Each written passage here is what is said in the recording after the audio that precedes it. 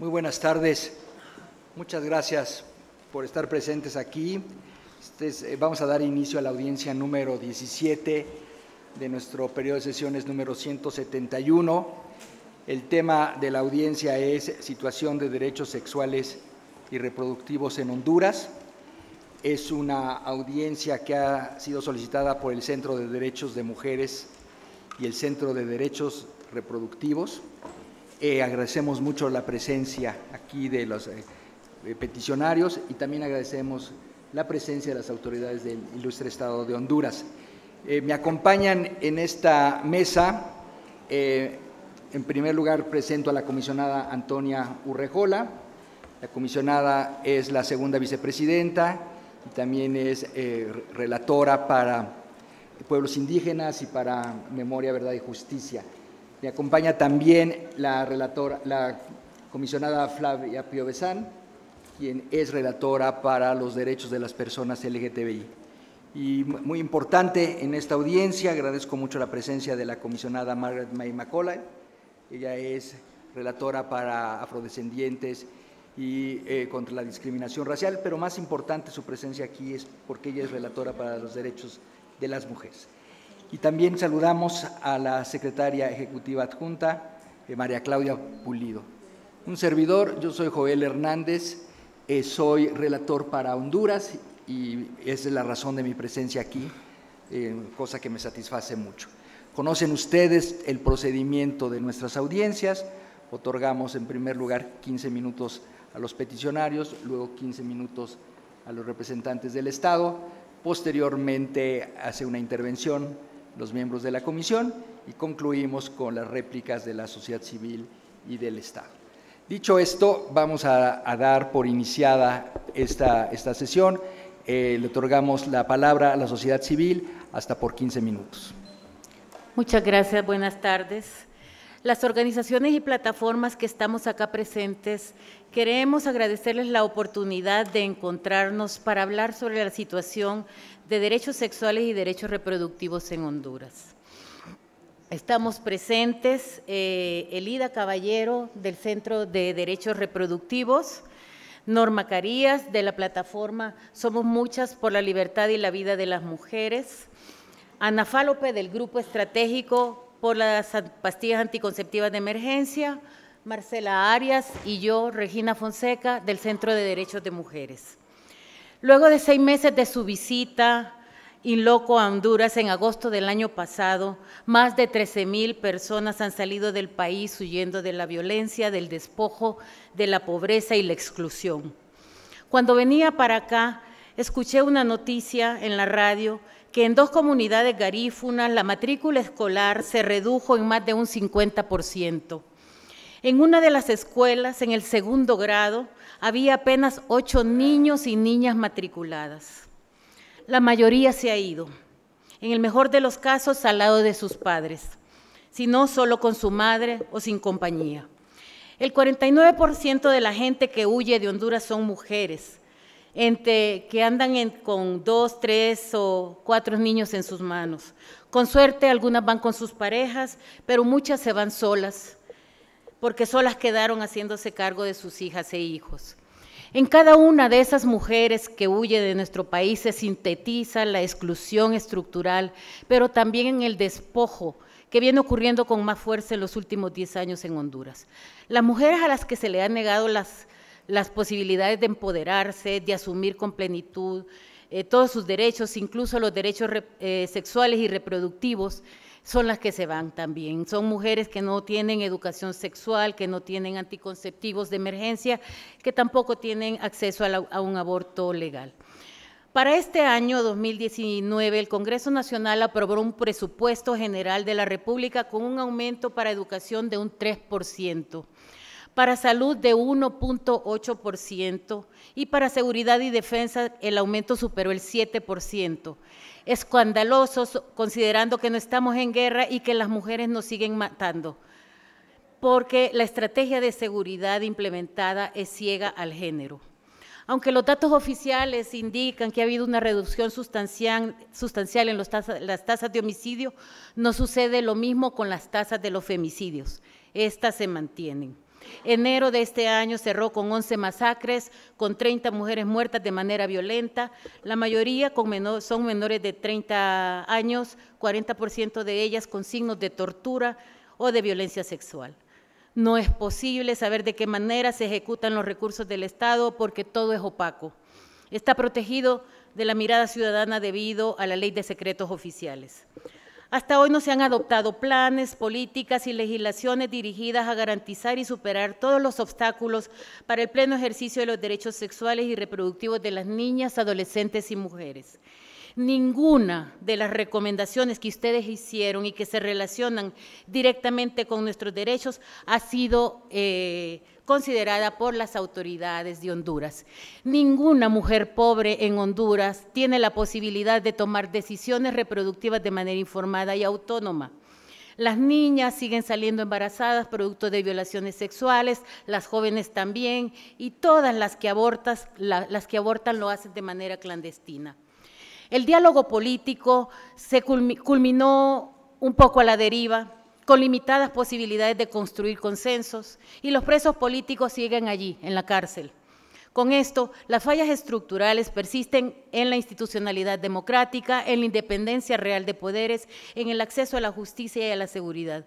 Para nosotras, realmente es lamentable reconocer que venimos de un país en donde sus gobernantes dan ejemplo mundial de corrupción, de impunidad estructural, de represión y de abandono a las necesidades de la población. La violencia sexual contra niñas y mujeres en Honduras es una realidad que enfrentamos a diario. Cada tres horas se interpone una denuncia por violencia sexual. A lo largo de los últimos años, a partir de los registros publicados por el Observatorio de la Universidad, podemos comprobar que, uno, las mujeres más afectadas son menores de 19 años. Dos, la mayoría de los agresores son conocidos o familiares. Y tres, la violencia sexual en Honduras no disminuye.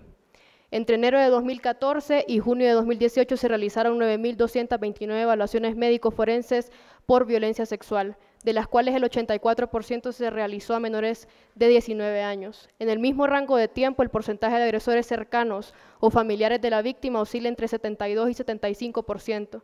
Eso significa que las niñas y mujeres hondureñas corren mayor peligro en espacios de confianza. Además, es alarmante que entre los agresores desconocidos, 11 de ellos fueron identificados como policías y militares.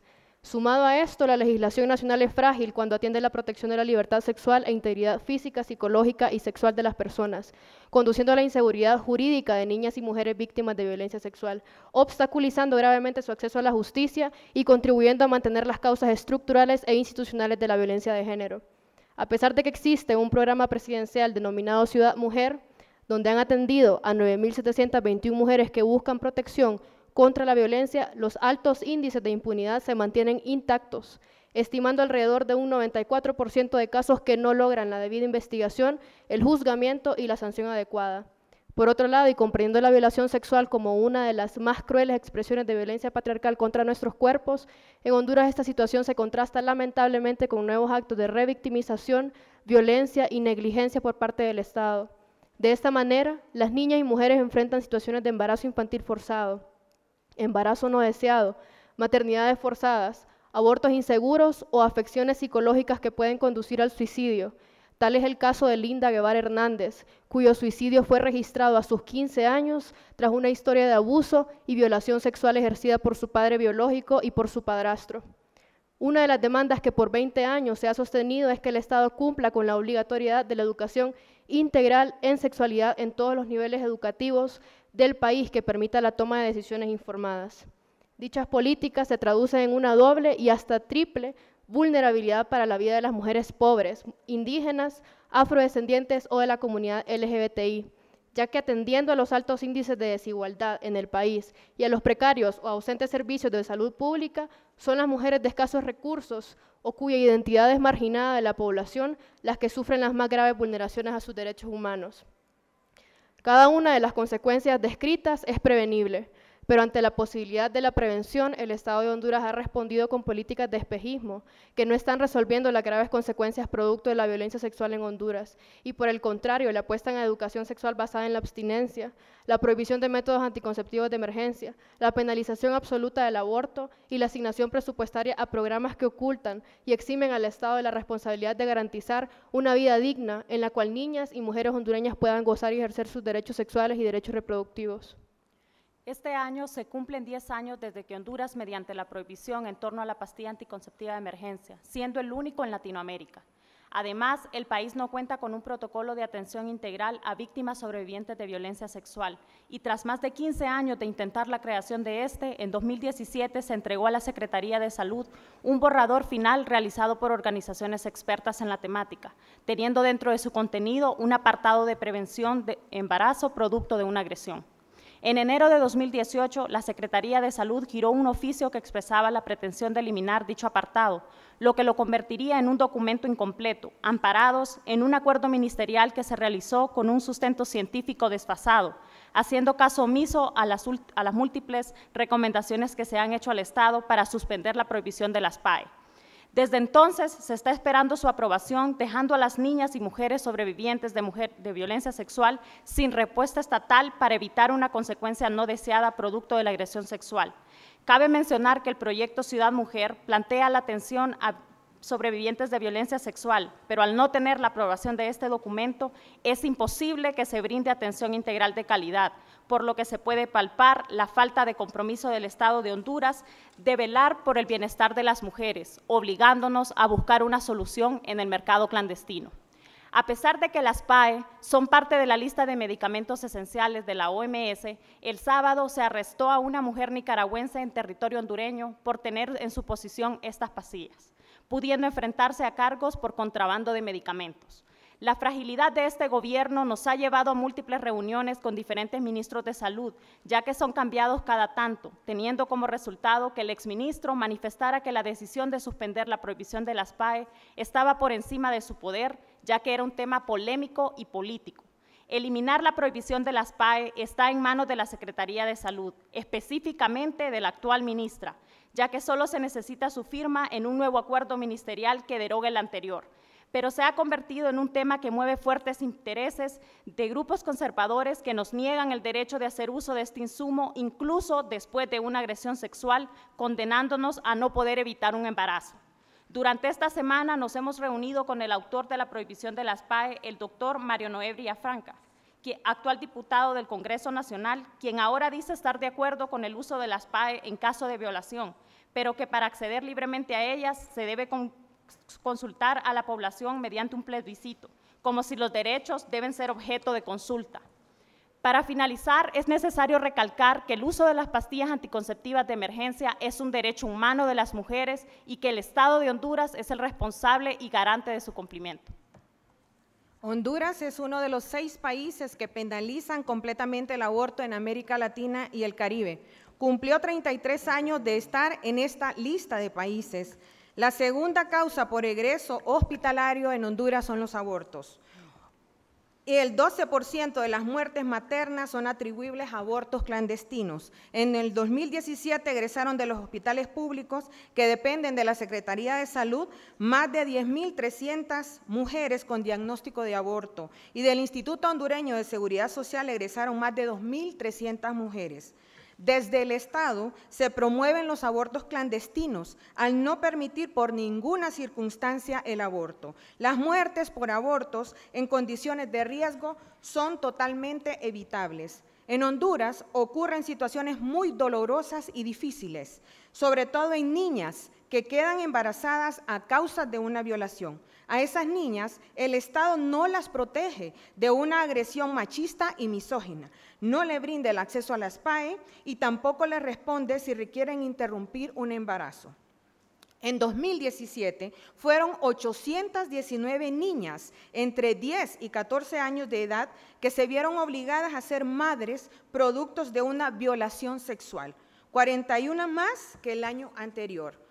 Los comités internacionales que vigilan el cumplimiento de los derechos humanos han llamado la atención al Estado hondureño porque viola los derechos humanos de las mujeres al penalizar de manera absoluta el aborto. En 2015, la relatora especial de Naciones Unidas sobre violencia contra las mujeres en su misión a Honduras indicó que la prohibición absoluta del aborto implica que las mujeres y las niñas están condenadas a continuar embarazos y enfrentar la revictimización por parte de la sociedad. En el 2016, el Comité de Derechos Económicos, Sociales y Culturales observó al Estado de Honduras diciendo que Preocupa al comité la criminalización del aborto sin excepciones. También en el 2016, el Comité para la Eliminación de la Discriminación contra la Mujer manifestó su preocupación por la criminalización del aborto sin excepciones. En el 2017, el Comité de Derechos Humanos de Naciones Unidas recomendó a Honduras modificar de manera urgente la legislación para ayudar a las mujeres a evitar embarazos no deseados y asegurar que no deben recurrir a abortos clandestinos. Esta comisión estuvo también el año pasado en su visita in loco, donde lamentó que el Estado siga criminalizando el aborto de manera absoluta el acceso al aborto es un derecho humano. Asegurar el acceso al mismo es parte de las obligaciones del Estado para eliminar la discriminación en contra de las mujeres y garantizar el derecho a la vida, así como otros derechos fundamentales. A pesar de todas estas recomendaciones y de que los diputados del Congreso Nacional tuvieron una oportunidad valiosa de despenalizar el aborto en la reciente elaboración del nuevo Código Penal, el Estado de Honduras sigue violentando el derecho a la salud y la vida de las mujeres. Es por esta razón que todas las organizaciones que estamos presentes demandamos que el Estado de Honduras despenalice el aborto en al menos tres circunstancias. A pesar de que el sistema interamericano ha sido claro en determinar las obligaciones internacionales que son exigibles a los estados respecto de la garantía y protección de las víctimas de violencia sexual, así como de sus derechos sexuales y reproductivos, en Honduras no solo persisten alarmantes tasas de violencia sexual contra mujeres y niñas que se mantienen en la impunidad, sino que se limita desproporcionadamente el acceso a los servicios de salud sexual y reproductiva necesarios para abordar las consecuencias de dicha violencia. La legislación de Honduras obliga a las víctimas de violencia sexual a una de dos opciones, llevar a términos embarazos forzados o a recurrir a abortos clandestinos en condiciones de inseguridad e insalubridad. Con esta audiencia pública deseamos brindarles información sobre la preocupante situación de las niñas y mujeres víctimas de violencia sexual en Honduras y que sea una oportunidad clave para que se pronuncie sobre la necesidad urgente de que Honduras redoble sus esfuerzos para cumplir con los estándares internacionales en materia de salud sexual y reproductiva, de igualdad de género y no discriminación. Por esto, le solicitamos a la honorable comisión que insta al Estado de Honduras a uno, que refuerce su marco legislativo sobre la violencia sexual contra mujeres, niñas y adolescentes a través de la expedición de una ley integral que garantice el acceso a la justicia de las víctimas y permita que se investigue, juzgue y sancione eficaz e imparcialmente a los responsables de estos actos. Dos, que derogue el acuerdo ministerial número 2744 del 2009 y que se asegure de eliminar la actual prohibición de la distribución de la pastilla de anticoncepción de emergencia PAE, tomando medidas necesarias para asegurar su accesibilidad, disponibilidad y asequibilidad para todas las mujeres y adolescentes en el Estado, especialmente en las zonas más rurales del país.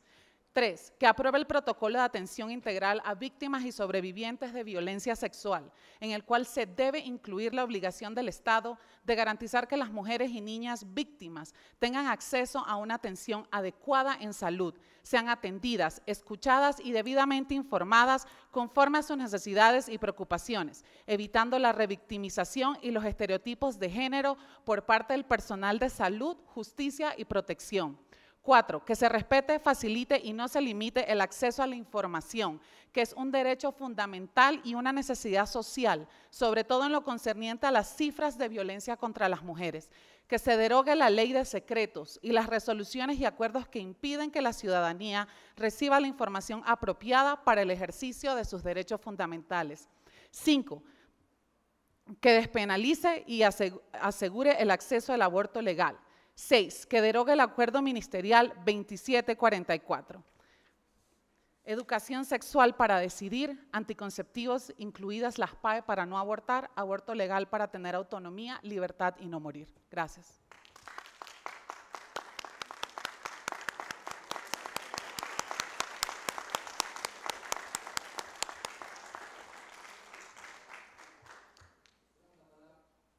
Tiene la palabra ahora eh, los representantes del Estado, hasta por 15 minutos. Muchas gracias, señor presidente honorables miembros de la Comisión Interamericana de Derechos Humanos, distinguidos representantes peticionarios de la presente audiencia y público en general. El Estado de Honduras comparece a este 171 periodo de sesiones atendiendo la convocatoria a la audiencia temática sobre obligaciones del Estado de Honduras frente al acceso a servicios de salud sexual y reproductiva para niños y mujeres víctimas de violencia sexual, tema en el cual nos centraremos. Me hago acompañar de una delegación interinstitucional integrada por la Procuraduría General de la República, la Secretaría de Derechos Humanos y la Secretaría de Desarrollo e Inclusión Social. En tal sentido, le cederé la palabra a la subsecretaria de Derechos Humanos, abogada Jacqueline Ancheta. Honorables miembros de la Comisión Interamericana de Derechos Humanos, distinguidos representantes y peticionarios de la presente audiencia, público en general. Honduras asume con compromiso las obligaciones internacionales que emanan de las convenciones en materia de derechos humanos que hemos ratificado. Igualmente, mantiene una política abierta a los mecanismos internacionales de protección de derechos humanos. Es así que recibimos la visita in loco de esta comisión, así como al grupo de trabajo sobre la cuestión de la discriminación contra la mujer en la legislación en la práctica en 2018. En ambas ocasiones, el Estado sostuvo un diálogo franco y abierto sobre la situación de derechos humanos de la población hondureña, en particular sobre los derechos sexuales y reproductivos. Honorables comisionados, Honduras ha recibido recomendaciones del Sistema Universal de Protección de Derechos Humanos sobre derechos sexuales y reproductivos, a las cuales se suman las dos recomendaciones del informe preliminar de la visita in loco. Estas recomendaciones formuladas al Estado constituyen una guía orientadora e instauran los parámetros para el diseño de políticas públicas, planes, programas y proyectos para poder llevar a terreno los derechos humanos. Honorables comisionados, Honduras cuenta con una política pública y plan nacional de acción en derechos humanos que recogen los compromisos derivados de los compromisos y recomendaciones de organismos internacionales. Asimismo, cuenta con una política nacional de la mujer y el Plan de Igualdad y Equidad de Género 2010-2022. Como parte de esta implementación de ambas políticas y planes, se han adoptado medidas para hacer efectivos los derechos sexuales y reproductivos bajo el principio de integralidad en las esferas del derecho a la vida, a la libertad, a la seguridad, a la salud, a la información, a la igualdad, a la educación, a una vida libre de violencia y discriminación, entre otros. Medidas que a continuación expondremos. En la esfera de la salud se han implementado medidas estructurales tales como se aprobó la Política Nacional de Salud Sexual y Reproductiva. Se aprobó la Política de Género de la Secretaría de Salud.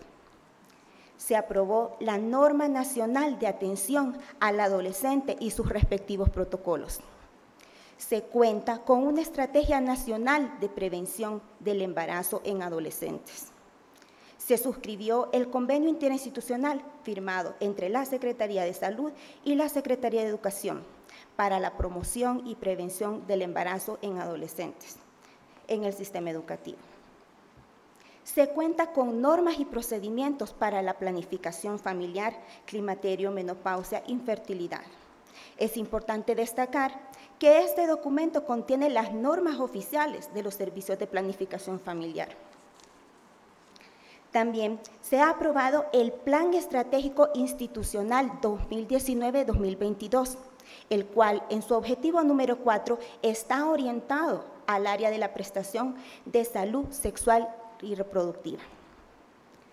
Como parte del programa Salud Mesoamérica se fortalecieron 19 clínicas y maternos infantiles y 6 hospitales en 19 municipios en zonas más postergadas. Centros que cuentan con controles y asistencia médica en materia de salud sexual y reproductiva y violencia sexual. Se brindan atención en primer y segundo nivel en materia de profilaxis para sífilis, VIH, hepatitis B, entre otras, a través de la red integrada de la Secretaría de Salud. Se han incorporado en el esquema de vacunación la aplicación de la vacuna del virus del papiloma humano.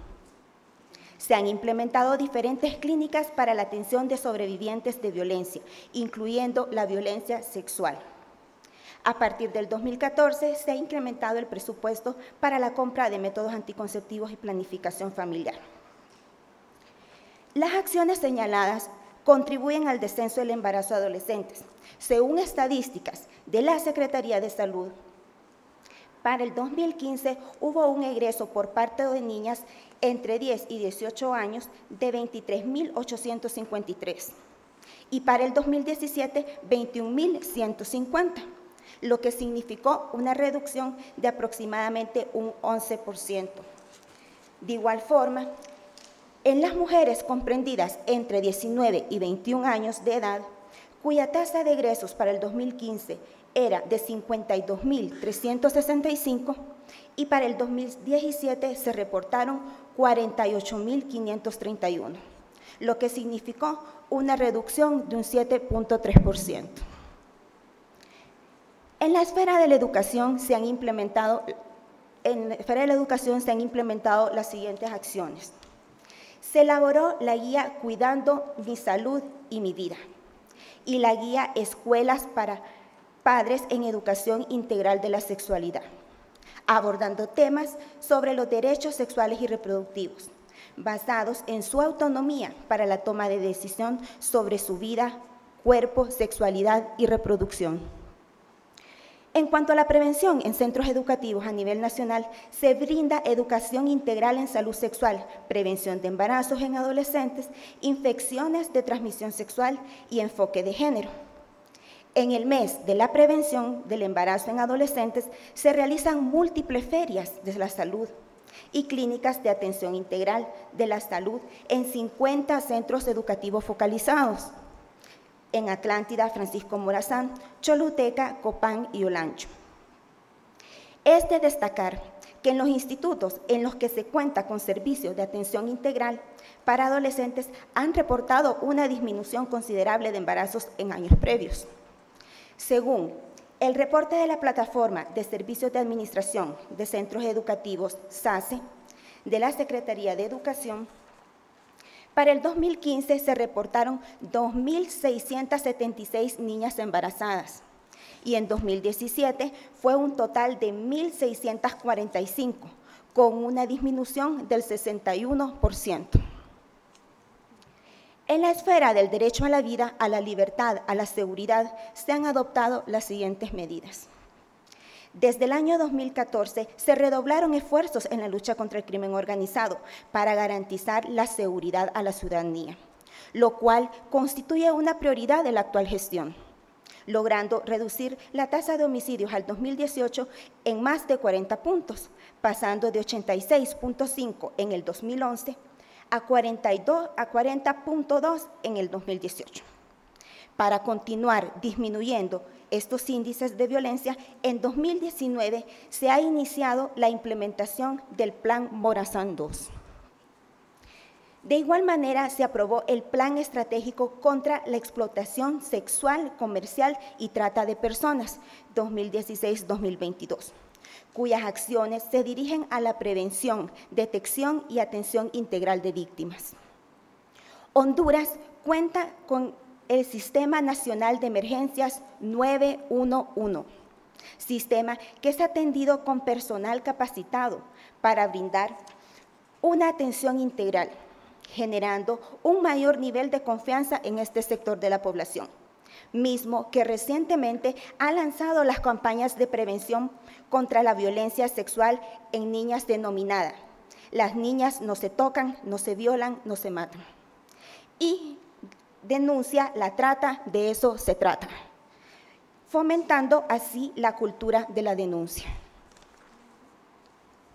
En agosto del 2018 se instaló la Comisión Interinstitucional de Investigación de Muertes Violentas de Mujeres y Femicidios, espacio integrado por instituciones de Estado y organizaciones de, mujeres.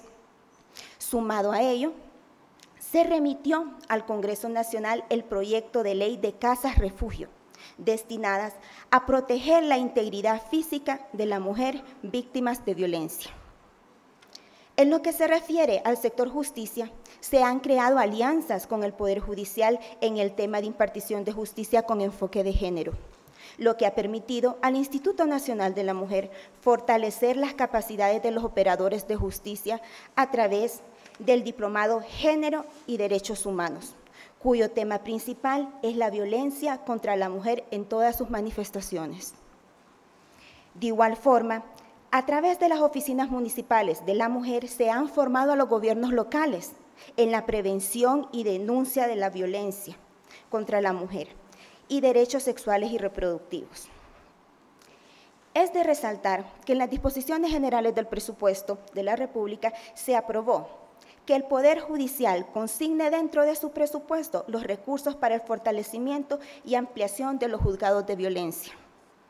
De igual manera, al Ministerio Público consignar los recursos para el fortalecimiento de la unidad de investigación de muertes de mujeres y femicidios, así como la ampliación de la cobertura para nuevas unidades. Honorables comisionados, el Estado de Honduras ha centrado todos sus esfuerzos en la prevención, bajo el principio de integralidad. Bajo este principio se crea el programa presidencial de mayor impacto Ciudad Mujer inaugurado en marzo de 2017. El mismo cuenta con un módulo de salud sexual y reproductiva, módulo de atención a violencia contra la mujer y un módulo de atención a las adolescentes, contando con servicios de salud sexual y reproductiva, prevención de embarazos, prevención y atención de violencia contra la mujer se han aperturado Ciudad Mujer en Teucigalpa, Choloma y San Pedro Sula y Ciudad Mujer Móvil, dando como resultado 92.909 mujeres atendidas en el 2018 y en lo que va de 2019, 12.647 atenciones logrando como resultado el empoderamiento de los derechos de la mujer, capacitación técnico-vocacional, para disminuir las barreras socioeconómicas y acceso a fuentes de empleo, entre otras. Para el 2019 se tiene planificado inaugurar los centros Ciudad Mujer en La Ceiba, Departamento de Atlántida, y Juticalpa, Departamento de Olancho. De igual manera, se cuenta con el Plan Multisectorial de Prevención de Embarazos en Adolescentes, a través del cual se ha posicionado el tema de la prevención en la población y un trabajo eficaz para impulsar la aprobación de leyes como ser la ley de paternidad responsable y la ley para la eliminación del matrimonio infantil. Como parte del plan se crea el programa Adolescentes que Sueñan, Familias que Apoyan, que tiene como propósito reducir el índice de embarazo en adolescentes a la fecha, se han atendido más de 60 mil jóvenes entre 12 y 18 años a nivel nacional. De igual manera es importante destacar que a todos estos esfuerzos se suma el apoyo del programa Spotlight, el cual busca la igualdad de género, el empoderamiento de las mujeres y niñas y el acceso de servicios de atención sexual y reproductiva. Todas estas acciones enunciadas en esta audiencia reflejan que el compromiso del gobierno de la República en una política de prevención enmarcada en las obligaciones internacionales del Estado. Honorables comisionados, El Estado reconoce que aún existen retos y desafíos en materia de salud sexual y reproductiva, como ser contar con un protocolo de atención a víctimas y o sobrevivientes de violencia sexual. Es por ello que se inició un proceso en conjunto con sociedad civil para elaboración del mismo, el cual no se ha aprobado en vista de estar vigente el Acuerdo Ministerial 2744. No obstante, la Secretaría de Salud se encuentra analizando los procesos legales correspondientes. Creemos firmemente que estos espacios facilitan el diálogo entre el gobierno, los actores de sociedad civil y los mecanismos de protección de derechos humanos, al tiempo que nos permiten mostrar los avances, los retos y desafíos en la implementación de las políticas públicas que se ejecutan en nuestro país y nos orientan el camino a seguir para fortalecer nuestro rol de garante de derechos. Finalmente, reiteramos nuestro compromiso en continuar trabajando en la promoción y protección de los derechos humanos de todas las mujeres y niñas y reconocemos la labor de las defensoras de los derechos de la mujer, que día a día luchan por la dignidad, igualdad e inclusión de la mujer en la sociedad. Gracias. Gracias a usted, muchas gracias por su presentación. Bueno, vamos ahora hacer uso de la palabra a los integrantes de esta mesa. Quiero empezar por felicitar a la sociedad civil por haber traído este tema a la atención de la comisión. Eh, nos permite a nosotros seguir eh, dando atención a este tema con posterioridad a la visita in loco que realizamos a finales de julio del año pasado. Y ustedes saben que ahí hay un capítulo dedicado a mujer y donde se relevan algunos de estos problemas que ustedes han mencionado. Y agradezco también la, presencia aquí eh, de altas autoridades de la República, del Estado de la República de Honduras. Agradecemos mucho este compromiso que ustedes asumen para avanzar hacia los derechos sexuales y reproductivos de la mujer. Ahora bien, cuando estuvimos en, en Honduras, nos llevamos nosotros esta, una fotografía de lo que ahora estamos una vez más escuchando. Este espacio nos permite seguir profundizando en este tema. Lo que nos han ustedes expresado es lo que recogimos en nuestra visita en Honduras, una situación en donde existe un alto índice de embarazo de adolescentes, donde existe casos de embarazo por violación, violaciones que quedan impunes, donde existe una situación de altos índices de violencia contra la mujer y una prohibición absoluta del aborto, más una insuficiente educación sexual para adolescentes. Hemos escuchado de parte del, Estado eh, una serie de planes, eh, proyectos y acciones muy concretas, todas dirigidas, así lo he entendido yo, todas dirigidas hacia el aspecto preventivo. Y espero yo que en estas eh, políticas de prevención y de programas de educación sexual, estas también sean dirigidas a hombres. La, salud sexual y reproductiva de las mujeres no es un tema que concierne exclusivamente a las mujeres, es un tema donde los hombres tenemos una responsabilidad especial. Lamento yo que se haya perdido la oportunidad de un nuevo código penal en 2017 para llevar a cabo eh, eh, una auténtica em, regulación del aborto, em, es decir, teniendo en cuenta los estándares internacionales y las realidades que el país padece, tener desde esa perspectiva la regulación del aborto de una manera adecuada. Lamento yo que la situación sea, por el contrario, la penalización y también la decisión de la Corte Suprema de Justicia que confirmó el acuerdo ministerial 2744-09. Yo creo que aquí el Estado de Honduras tiene que estar muy consciente de la realidad que sucede. Las medidas preventivas son necesarias y de hecho celebramos que haya una disminución de embarazos eh, infantiles o en, adolescentes, pero no es suficiente las medidas preventivas. Hay que también atender las consecuencias cuando, cuando estas aparecen, cuando hay casos de embarazos por violación, estas tienen que ser atendidas de otra manera. Igualmente, el Estado de Honduras tiene que avanzar en eh, una actualización de sus políticas de salud para reconocer los métodos anticonceptivos que hoy en el mundo se están, se están este, implementando. Eh, con pleno respeto a, a, derechos, con pleno respeto a la voluntad de las mujeres, porque es muy importante que también ese aspecto esté presente. Eh, yo lo que quisiera simplemente es invitar a la sociedad civil y al Estado a que nos hagan llegar eh, la información, sí, en detalle de lo que aquí hemos escuchado. La comisión se encuentra en la etapa final de la elaboración del informe de su visita y lo que aquí nos proporciona nos va a ayudar muchísimo a presentar un informe actualizado y que nuestras recomendaciones sean eh, dirigidas eficientemente. Quisiera ahora darle la palabra a la comisionada Macaulay eh, en su carácter sobre todo de relatora para derechos de la mujer. Thank you very much, Mr. President. Um, before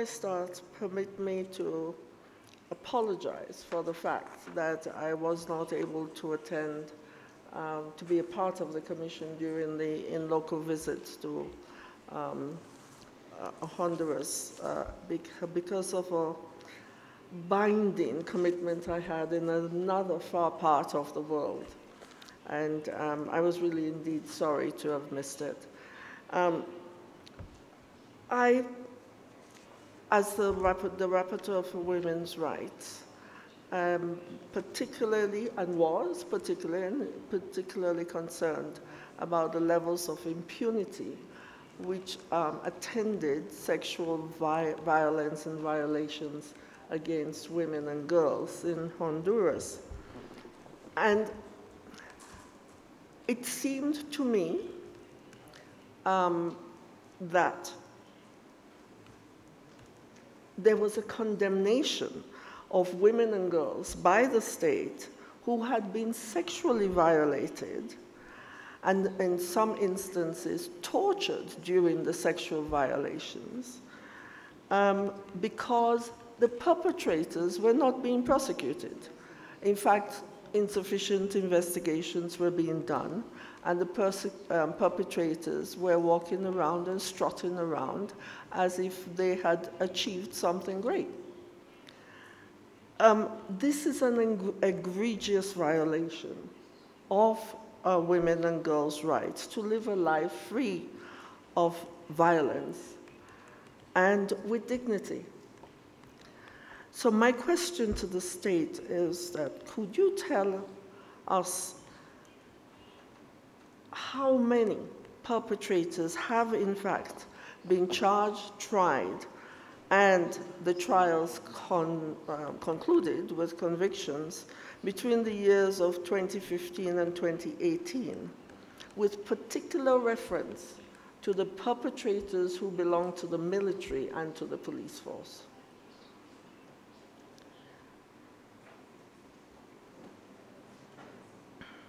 I have listened with interest um, to the state submissions about its mechanisms, policies, uh, uh, uh, ministries, um, ministry agencies, and, and, clinics, and, and so on, which are, have been set up and are in existence.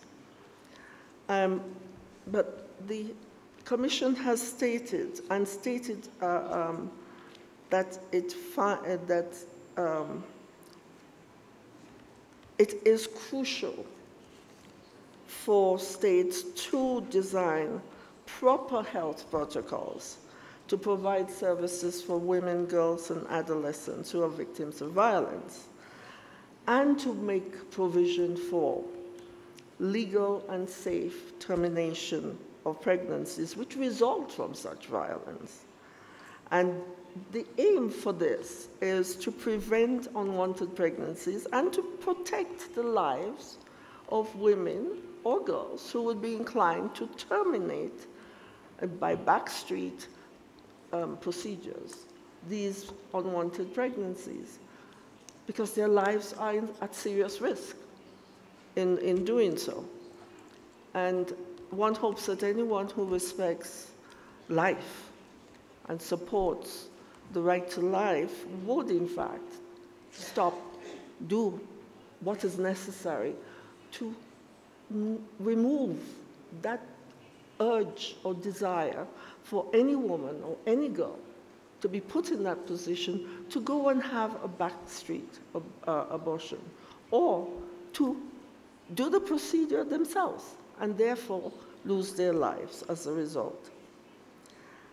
Um, after the, the, on, the visits which um, my colleagues undertook, um, the commission reported that your state is one of five countries in the world which does not allow um, termination of pregnancies on any grounds whatsoever. That's a very small number because I think it is universally accepted, apart from these five countries, that this is a necessity for the quality of life of women. And remember, when women's quality of life is good, men's quality of life is also good. If it is not, then the population is in a sad and bad way. Um, so,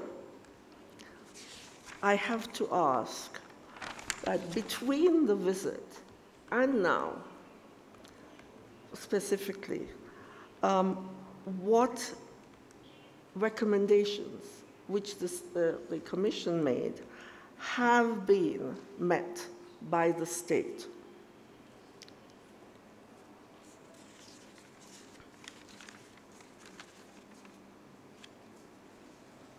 And um, also, yes, I've asked that one. And also, if you can um, provide to the Commission the copy of the diploma course which you mentioned on gender and human rights, um, so that we can um, look through that and as, assess it in line with the uh, inter-American standards.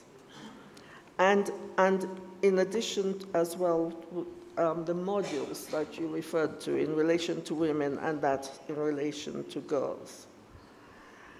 Um, I was happy to hear that the state is focusing on prevention uh, because it, it is the main obligation of a state to prevent and protect women and girls from any kind of, of um, assaults and, and violations.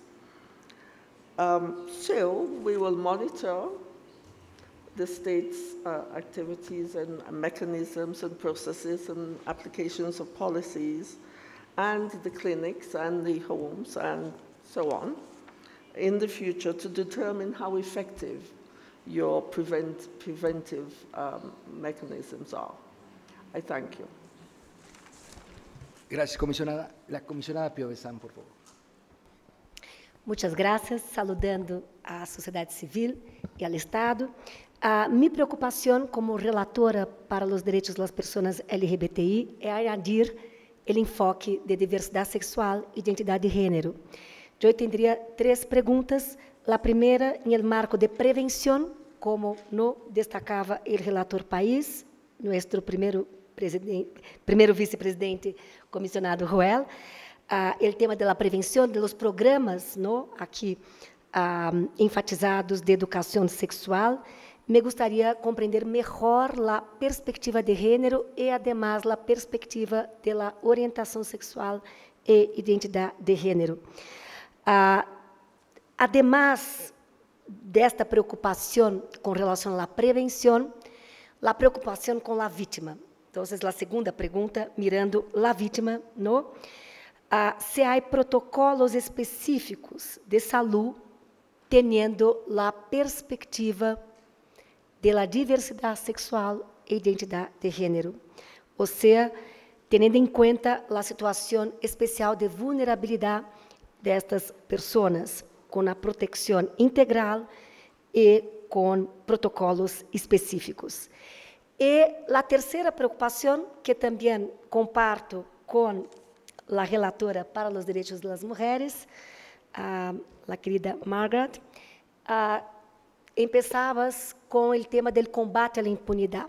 E também, uma vez mais, se há, com relação ao dever do Estado de adotar a devida diligência, se há protocolos específicos com relação também à diversidade sexual e identidade de gênero, para o combate à violência, à intolerância e à discriminação, que tantas vezes mata e viola os direitos. Graças. Gracias, comisionada. Vamos a la, a la, réplica. Le damos cinco minutos a la sociedad civil.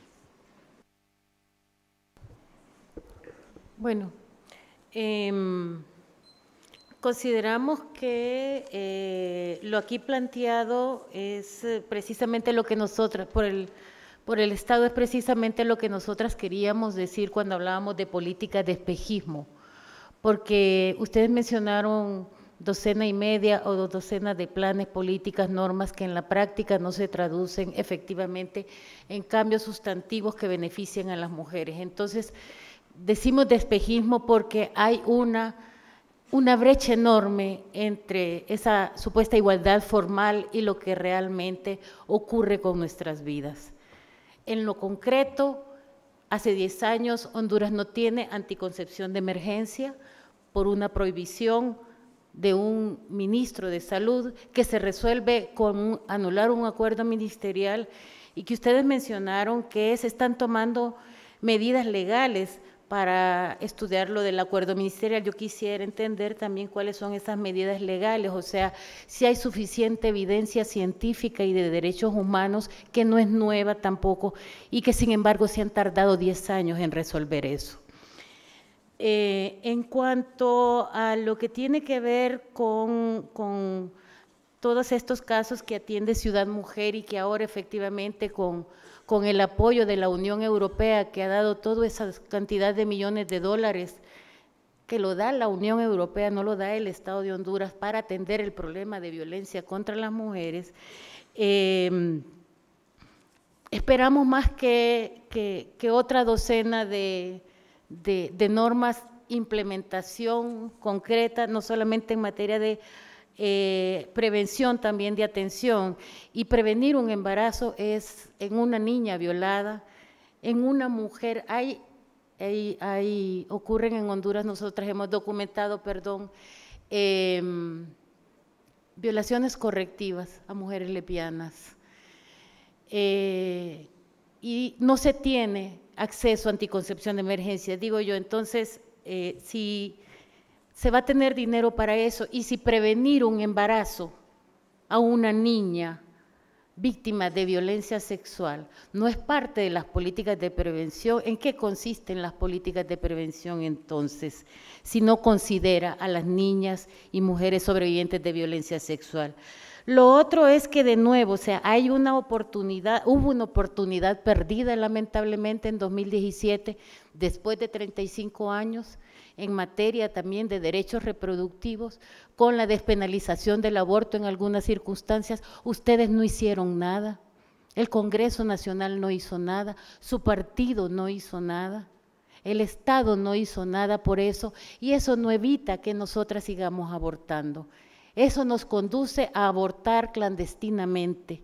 Son políticas clandestinizantes. O es obligar a las niñas que salen embarazadas producto de una violación a mantener sus embarazos forzados, a maternidades forzadas.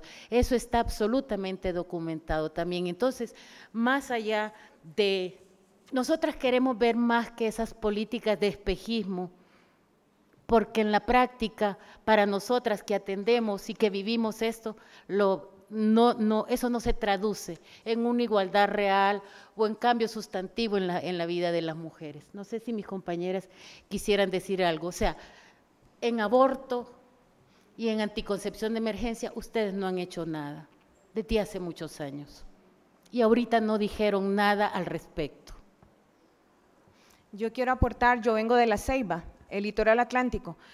En todo el litoral atlántico no hay unidad de cuidados intensivos, No somos Tegucigalpa, no somos San Pedro Sula. No se puede tratar una eclampsia ni un síndrome GEL porque están contratando códigos verdes. No tenemos enfermeras, no tenemos médicos. Por favor, contraten personal de salud. No queremos una ciudad mujer, un, fantasma, un elefante, porque si no tenemos ni siquiera médicos o especialistas en mi ciudad y están próximos a, a inaugurar Ciudad Mujer en mi ciudad, cuando el, el sistema de salud actualmente hay, existe un desabastecimiento de métodos anticonceptivos, no hay pruebas de, rápidas de VIH a nivel nacional, ni la Secretaría de Salud ni las ONG que trabajamos en el tema tenemos. Es a nivel nacional del mes de noviembre. Y lo otro es también en la norma nacional de atención a adolescentes, ustedes como Estado le exigen el consentimiento que los jóvenes tienen que ir autorizado por los padres para que puedan acceder a la prueba rápida de VIH. Entonces, ¿de qué estamos hablando? ¿De qué acceso estamos hablando si todavía el joven, que chico, le va a ir a decir a su madre o a su padre que vaya con él a un establecimiento de salud a que ponga un consentimiento para que le, hagamos la prueba de VIH cuando es un derecho del joven. Entonces, estas son limitaciones que tenemos actualmente. Y lo que queremos también desde el sistema de salud es que por favor ascienden el recurso no de forma temporal, sino que de forma permanente en nuestros hospitales y que el presupuesto obviamente se incremente y no solamente se esté yendo en estos jóvenes código verde, que no son ni siquiera del sistema de salud. Muchas gracias. Muchas gracias. Le damos la palabra ahora al Estado. Muchas gracias, señor presidente. Por su orden le cederé la palabra a la subsecretaria de Estado en, la Secretaría de Desarrollo e Inclusión Social, abogada Doris Mendoza, y posteriormente a la subsecretaria eh, Jacqueline Anchecta. Muy buenas tardes a todos y todas. En relación al tema de, la inclusión de la mujer en los planes del Estado con el tema de Ciudad Mujer, Ciudad Mujer es la práctica de la articulación estatal en torno a la mujer hondureña. Tenemos protocolos de atención con estándares que nos ha permitido llevar la atención no solamente con dignidad, sino también con un tema de igualdad y una atención de calidad. En Ciudad Mujer contamos con cámaras de GESEL que evita la revictimización de la mujer hondureña para poder, dentro, de las 16 instituciones del Estado con la prestación de servicios, ser atendidas desde el punto de vista integral. Con el tema que habla mi compañera aquí, mi colega de, del CEIBA, los códigos verdes quiero comentarle que son profesionales de la salud que están en un momento de desempleo, no son profesionales de otra materia que no sean de salud. Como Estado reconocemos que, precisamente estamos en este proceso de reforma del, tema de salud, de todo el sistema de salud, porque reconocemos las brechas que tenemos de atención en toda la materia social y es precisamente que, como decía usted, con hechos hemos venido aquí a poder ir diciendo que hemos ido avanzando. El sistema de protección social de Honduras ha tenido una transformación en los últimos cinco años de poder ordenar la oferta institucional en torno a la demanda con una perspectiva de género, con una perspectiva, como lo decía el presidente, de no solamente hablar del hombre o de la mujer, sino hablar del tema integral. El tema de prevención de embarazo lo abordamos desde esa temática, que el niño se sienta parte o incluido en un tema de un embarazo. Lo hablamos también desde un tema de, prevención de la violencia sexual, precisamente, un tema de multiculturalidad y un tema de eh, justicia social. igual tenemos aprobada la ley de paternidad responsable, que eso nos ha permitido también ir avanzando en los temas. Al final, la historia de un Estado se cuenta por las acciones que vamos comenzando y por las acciones que hemos ido encaminando e impulsando desde todo el mundo, tanto sociedad civil como Estado de Honduras, en una misma temática que es lo que nos va a permitir dar eh, respuestas integrales a la población, que finalmente es lo que está esperando de nosotros. Muchísimas gracias. Bueno, en relación a las recomendaciones y a su seguimiento, eh, podemos informar que a partir de la visita in loco se inició a revisar el plan multisectorial de prevención y embarazos en adolescentes. Actualmente pues está siendo revisado y actualizado. Eh, también puedo informar que se instaló en agosto del 2018 la Comisión Interinstitucional de Investigaciones de Muertes Violentas y los Femicidios, este constituye un espacio muy importante para poder trabajar coordinadamente con las organizaciones de sociedad civil. Actualmente hemos realizado una jornada de priorización entre las instituciones del Estado y las organizaciones de mujeres, habiendo eh, priorizado en campañas de prevención, eh, tener un registro único de muertes violentas y asimismo también poder generar un observatorio. Estas son una de las de los avances pues que hemos tenido y si consideramos como Estado que este es un espacio muy valioso en el cual podemos podemos ir midiendo los índices incluso de impunidad y es ahí hacia donde estamos apuntando para poder tener información eh, solamente. Muchas gracias. Eh, la última palabra la tiene la comisionada Macaulay, hasta por un minuto. Um, excuse me, please, uh, disculpe. Um, I forgot something. I, I just, I, I, forgot something, I'm sorry. I just wanted to say, um, bring to the attention of this hearing, that the commission itself has not issued any statement of the morn, on the morning after pill. But we have presently a case at admission stage which will deal with it, a case from Peru and wherein we would pronounce on it. But the WHO has made it quite clear that morning after pills are contraceptive to stop the process of nature immediately following a sexual violation, which would prevent an unwanted pregnancy. It is not abortive, it stops it because the state must, when a report is made, immediately take the victim of a sexual violation to a medical facility to be examined. And there and then they must be given that pill because it stops any further progression into a, a pregnancy. That is what WHO has made clear. We will pronounce on it when the case comes for hearing. Gracias, comisionada. Información muy, muy importante a ser agregada. Quiero agradecer a todos y a todos su presencia aquí esta tarde, su participación. Eh, franca, abierta, transparente es la manera en la cual se, se, empieza un diálogo. Tanto a la sociedad civil como a los representantes del Estado les agradecemos esta participación. Y al, al público asistente también, muchas gracias por acompañarnos. Y una vez más agradecemos al pueblo y gobierno de Bolivia por habernos hospedado en el 171 periodo de sesiones.